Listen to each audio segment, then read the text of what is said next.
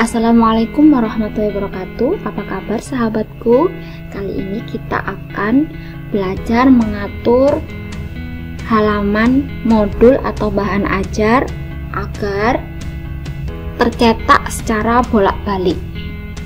Nah pertama kita atur dulu ini viewnya biar mudah kita kecilkan jadi dua halaman.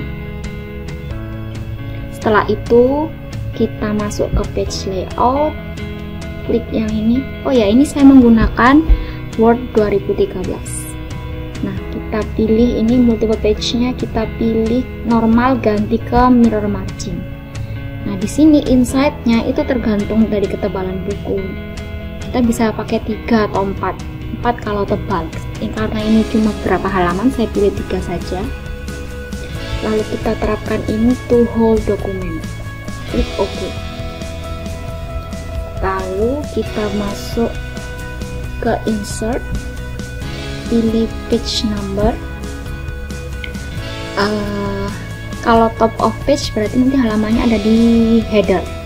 Karena saya maunya di footer maka saya pilih bottom of page saya pilih yang plain number 3 nah ini bisa kita lihat sudah muncul halamannya. Nah, biasanya itu kalau pengantar daftar isi itu menggunakan huruf Romawi bukan angka. Maka dari itu ini kita atur kita taruh kursornya di halaman terakhir peralihan antara yang versi formatnya huruf Romawi dan angka. Kita taruh di sini.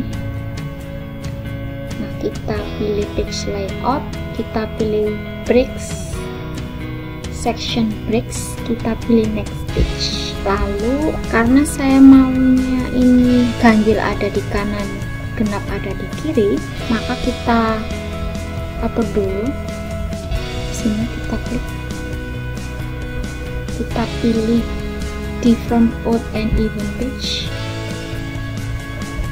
Kita taruh kursornya di halaman genap lalu kita klik page number kita pilih bottom of page pilih yang plain number one. Nah seperti itu. Kita cek. Nah sudah. Kalau kita lihat di sini halaman yang akan kita ganti menjadi huruf Romawi itu berakhir dengan halaman ganjil. Kita lihat ini halamannya kalau ini langsung kita ubah nanti untuk bab ini akan berada di nomor satu. Maka kalau seperti ini maka nanti ganjil ketemu ganjil.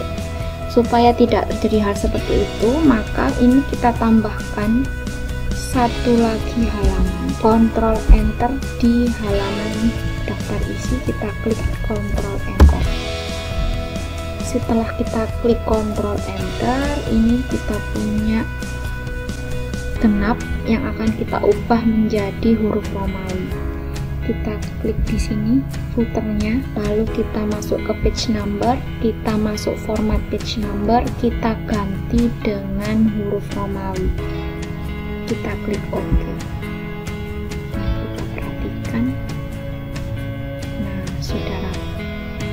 ini kalau kita lihat ini nggak rapi nggak sama. Kita cek taruh kursornya di angka ganjil. Lihat footernya 1,2 sedangkan di genap itu 0,6 nah ini kita samakan. Kita bisa klik panahnya ke atas atau kita ketik manual 1,2 klik enter. Nah perhatikan ini sudah sama. Nah setelah sama sudah rapi. Nah, kalau kita perhatikan di sini halaman cover sebenarnya tidak ada nomor halaman. Nah, kita kan kita ini kita mau hilangkan dengan cara klik different first page. Untuk hilang kita kembalikan. Uh, ini covernya saya menggunakan template cover chemistry ada di mswordcoverpage.com bisa sana banyak template cover yang bisa Anda manfaatkan.